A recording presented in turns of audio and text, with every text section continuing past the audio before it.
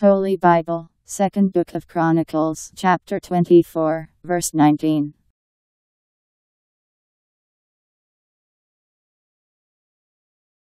And the Lord sent them prophets to make them come back to him, and they gave witness against them, but they would not give ear.